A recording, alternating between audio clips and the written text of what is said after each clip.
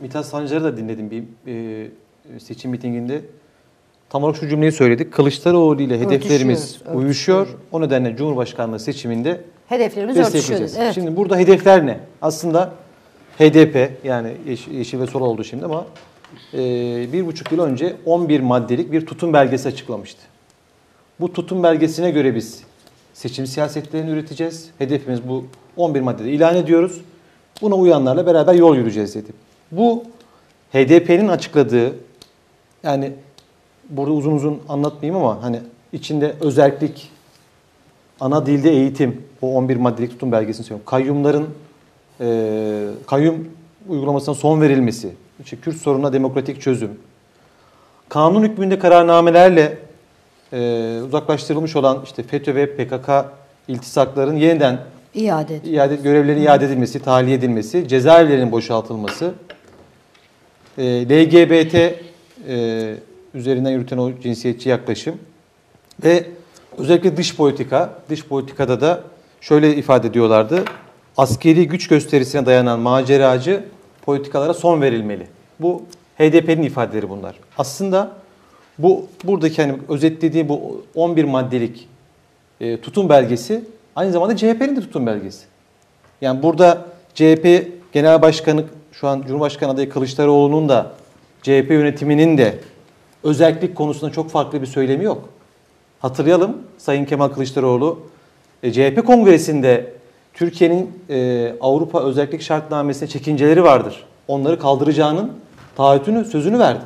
Hakkari'de yaptığı mitingde kez aynı şekilde biz yerel yönetim özellikteki şartlar, e, Türkiye'nin koyduğu çekinceleri kaldıracağız dedi. Yani aslında HDP'nin de CHP'nin de o anlamda politikaları örtek, ör- örtüşmüş durumda. Ana dilde eğitim konusunda katıldığı uluslararası toplantıda hatta biz bunu e, kapalı bir toplantıydı. Bize gelen bilgi üzerine haber yaptık.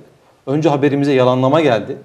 Sonra arkadaşlarımız Kılıçdaroğlu'na sorduğunda evet e, çocuğu işte ilkokul e, dördün, e, ilkokula gel, gelmeden önce bir ana dilde eğitim verilmeli. İlkokulda da dördüncü sınıfa kadar ana dilde eğitim verip sonra resmi dille beraber ana dilde eğitim yapılmalı gibi e, PKK'nın bugün hani çok kesin ve kırmızı çizgiyle savunduğu ana dilde eğitim programını da örtüştürüyorlar. Dış politikaya gelince Sayın Kılıçdaroğlu'nun çok uzun zamandan beri Keza baş danışmanı Sayın Çeviköz'ün çok uzun zamandan beri Türkiye'nin Fırat Kalkanı, Barış Pınarı gibi Amerika'nın terör koridoruna karşı yaptığı hamleleri hep mahkum ettiğini, e, bunları saldırgan bulduğunu, hatta Mavi Vatan siyasetlerini de Türkiye'nin Doğu Akdeniz'de e, ve Adalar Denizi'nde kendi hakkını, hukukunu savunmasını e, dile getiren, şunu da söyleyeyim bu Mavi Vatan siyaset e, düzleminde de e, 2015'te Vatan Partisi'nin partiler programına baktığımızda tek e, Mavi Vatan Siyaseti parti programına yazılmış olan tek parti ve bugün devlet politikası haline gelmiş durumda. Onu da çok önemsiyoruz. Türkiye'nin politikasıdır. Hepimizin göğsünü kabartıyor. Bunu bunu da hatırlayalım Çeviköz ne demişti? Maceracı, agresif ve saldırgan bulmuştu bunu. Yani Libya'da ne işimiz var diyen gibi. bir anlayış evet, var. Libya'da ne işimiz Yani var? Bize işte Akdeniz'den mi saldıracaklar ki oralarda bulunuyoruz vesaire Güney falan gibi. Kıbrıs Rum kesiminin e, efendim Avrupa Birliği özellik Evet. şart e, şerhini Yani kaldırmak demek orayı da tanımak dediğimiz- anlamına gelir Tabii yani ki, bir tabii noktada. ki. Ee, yani hatta Azerbaycan'da yaptığımız adımlarda da keza aynı şekilde. Dolayısıyla aslında bugün PKK'nın siyasi ayağı dediğimiz HDP ile CHP'nin siyasi programı birebir örtüşmektedir. O yüzden e, HDP'nin bugün yaptığı yani Yeşil ve Sol'un bugün yaptığı açıklama aslında malum ilan- ilanı. Burada tartışılması gereken bu e, ittifakın programı haline geldi geldi aslında. Ya bir vaadi bu mi oldu sadece- yani Sayın Kılıçdaroğlu'nun HDP'ye diyorsunuz ki bu, bu yani e, bu Programlar örtüşüyor. Yani bir- program örtüşüyor. Türkiye'ye-. Türkiye'ye dayatılan Onun bir- dışında Evet. hep HDP'nin dile getirdiği bizim sayemizde o koltuklarda oturacaksınız. Bizim sayemizde Cumhurbaşkanı Sinem Hanım, yardımcısı genel, olacaksınız. Bu konuda da- bu konuda da- terminolojisi tartışılıyor şu anda. Genel af terminolojisi tartışılıyor. Tabii. Bu efendim işte e, e, şeylerin e, efendim tecridin kaldırılması ne demek? Ne anlama geliyor? Bu bakın mahkumiyet ve infaz kanununa göre mahkumiyetini sürdüren kişiler için bu tecrit kavramını kullanmak siyasallaştırmak demektir. Bence bu e, eksende bir e, şey var. Aralarında bir mutabakat var.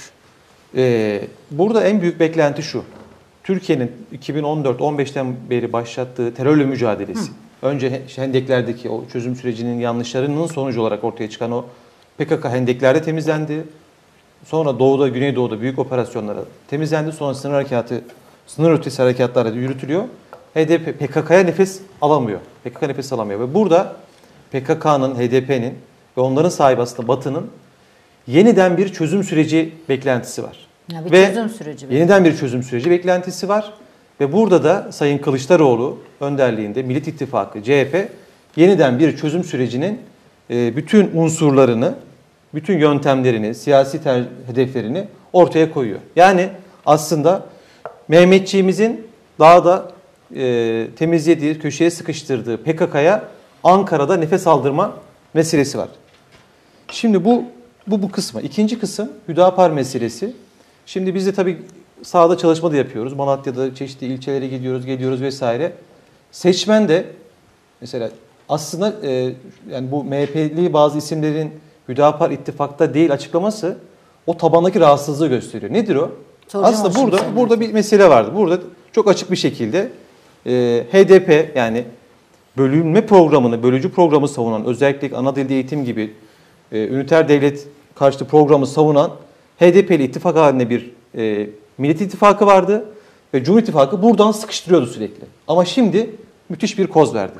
E sizin de Hüdapar'ınız var. Zaten HDP ne E zaman sizin Hüdapar'ınız da özellikle savunuyor. Sizin Hüdapar'ınız da Kürdistan Hüdapar diyor. Sizin söyleniyor. Hüdapar'ınız da Türk bayrağı demeyelim, Türkiye bayrağı diyelim. İşte gibi gibi milli üniter devletten ben geçmiş hani Hizbullah falan kenara bırakıyorum. Bugün hala programında e, Türkiye Cumhuriyeti'nin o ulusal kimliğine karşı tutum alan e, programı duruyor Hüdapar'ın orada duruyor ve bu şekilde meclise girecek. Kendi programıyla mı yani şey yapıyor sonuçta AK Parti listesine giriyor ama bu siyasetlere savunarak giriyor. Ve o yüzden de MHP'liler zor durumda kaldıkları için tabandan gelen tepkiyle e, işte Hüdapar ittifak içinde değil gibi. Hayır Hüdapar işte sonuçta bu ittifakın oylarıyla İstanbul'da Şunu diyorlar. Hüdapar'ın resmi imzalanmış bir ittifak Evet, metni yok işbirliği, ya. tamam, seçim işbirliği tamam. yapıyor. HDP'nin Evet. Sayın Bakan da onu söylüyor Tabii ki zaten. yani. Ama sonuçta burada aslında iki tarafında böyle bir bölücü siyasetleri meclise taşındığı çok riskli bir süreci görüyoruz. O yüzden Türkiye bu iki e, açmaza teslim edilmemeli. O yüzden yani Türkiye'de yani vatanseverlerin de bir yapacağı işlem olması lazım. Buradaki temel memnuniyetsizlik, tepkisel AK Parti tabanında da MHP tabanında da özellikle bunu görüyoruz. Hani burada İyi Parti içerisinde bazı huzursuzluklar var ama e, ben onların çok biraz gaz almaya dönük olduğunu düşünüyorum. Çünkü bal gibi işte Sayın e, Kılıçdaroğlu terör hükümlüsü Demirtaş'a özgürlük vereceğini her yerde söylüyor. Grup toplantılarında söylüyor, meydanlarda söylüyor. Bunu patır patır dile getiriyor. Şimdi arkadaşlarım gönderdiler. Kavala'ya da diyor. Bakın mesela Mansur Yavaş hatırlayalım e, belediye başkanlığı seçiminde e, İmamoğlu'ndan farklı bir çizgi izlemişti. Demişti ki yani bize ne selamları ne şeyleri olsun. Hani onların oylarına muhtaç değiliz demişti Ankara e, Büyükşehir Belediye Başkanlığı seçimi. Şimdi bir televizyon kanalında diyor ki HDP, Mansur Yavaş bunu söylüyor. HDP'nin HDP mecliste olup derdini anlatmak istiyor. HDP meşru bir partidir. Ondan sonra HDP belki de meclise gelip PKK'nın silah bırakmasını isteyecek diyor. Peki Adnan Bey anayasa Hiç olmayacak bir şey. Yani HDP'lerin hiçbiri, hiçbiri, hiçbir HDP'li PKK silah bıraksın diyen yok.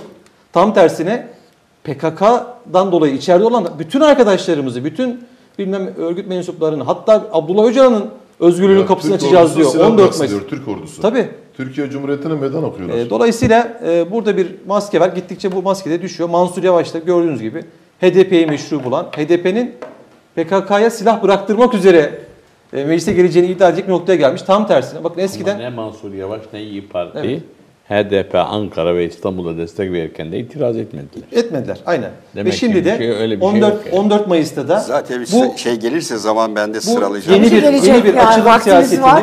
yeni bir açılım siyasetini Sitem hissediyorum. Evet. Adnan Bey toparlayalım. Yeni bir açılım Sayın siyasetini- ya. Siz ara ara lafa girdiğiniz için ben e, Hemen toparlıyorum. esnekliği gösterirsiniz. Özetle bu, e, bu burada bir ortaklaşma var. Yeni bir açılım sürecini başlatmak için bizim o 2010'larda acısını yaşadığımız e, yüzlerce binlerce şehitler vererek e, e, o süreci e, ortadan kaldırdığımız yeniden PKK'nın kara gücüm dediği Amerika'nın e, kara gücüm dediği PKK'ya ona siyasal alan açacak, ona nefes aldıracak.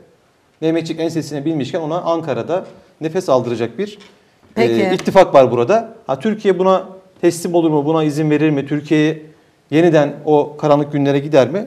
Ee, tabii Peki. ki gitmeyecek. Tabii ki Türkiye bu iki seçeneğe mahkum değil.